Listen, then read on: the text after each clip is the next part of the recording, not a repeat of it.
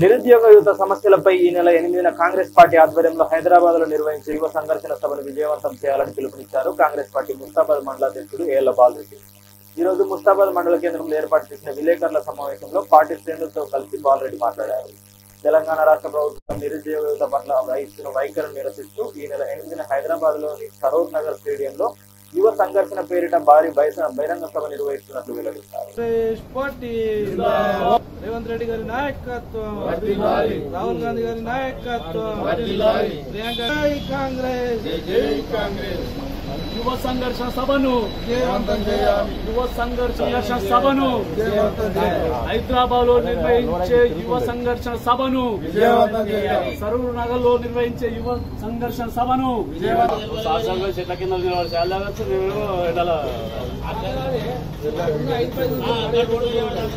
యువ సంఘర్షణ సభను. విజయవంతం చేయాలి. హైదరాబాద్లో నిర్వహించే యువ సంఘర్షణ సభను. విజయవంతం చేయాలి. నిరుద్యోగుల కోసం నిర్వహించే సభను.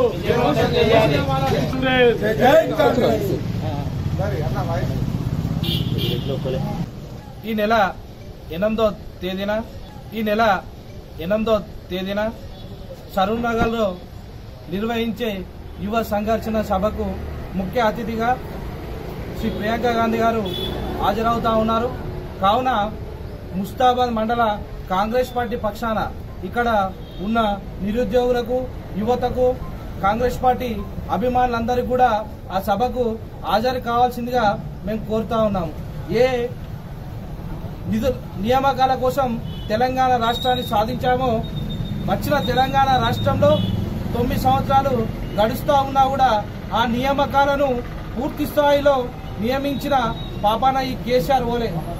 ఎంతో మంది విద్యార్థులు శ్రీకాంత్ చారి బలిదానంతో మొదలైతే ఎంతో యాదవరెడ్డి అయితేనేమి చాలా మంది యువకులు విద్యార్థులు తెలంగాణ రాష్ట్రం సాధిస్తే మేము ఉద్యోగ అవకాశాలు ఉపాధి అవకాశాలు వస్తాయని తమ ప్రాణాలను బలిదానంగా బలిదానంగా పెట్టి తెలంగాణ రాష్ట్రాన్ని సాధించడం అయినా కూడా ఇన్ని సంవత్సరాల్లో కూడా ఎన్ని పోస్టులు నింపి నింపిరు టీఆర్ఎస్ ప్రభుత్వం అంటే అది వాళ్ళకు కూడా తెలిసిన వాళ్ళకు కూడా తెలుసన్న నమ్మకం కూడా మాకు లేదు.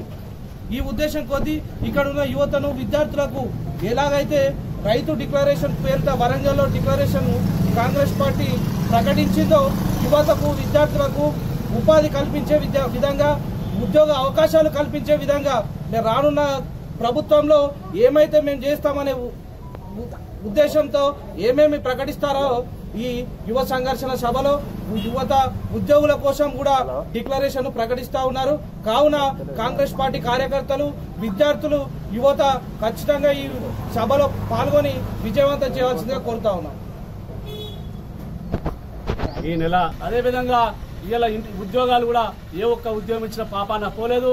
మొన్ననే చూసినట్లయితే టీఎస్పీఎస్సీ ప్రశ్నపత్రం లీకేజ్ ద్వారా ఎంతో ముప్పై లక్షల మంది విద్యార్థులు రోడ్డున పడ్డటువంటి సంగతి మనందరికి తెలిసిందే. మరి ఆ ముప్పై లక్షల మంది కోసం యువత కోసం నిరుద్యోగ కోసం కాంగ్రెస్ పార్టీ ఉంది ముందు. వచ్చే ఎన్నికల్లో తప్పకుండా కాంగ్రెస్ పార్టీ వస్తుంది. వచ్చిన తర్వాత మేము యువతకు నిరుద్యోగులకు ఉద్యోగాలు కల్పిస్తాం భద్రత కల్పిస్తాం అనేటువంటి ఒక ముఖ్య సందేశాన్ని ఇవ్వడానికి మరి యువ సంఘర్షణ సభ సరూర్ నగర్ స్టేడియంలో నిర్వహించడం జరుగుతూ జరుగుతా ఉంది.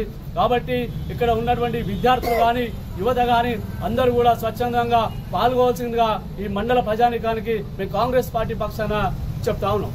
జై కాంగ్రెస్!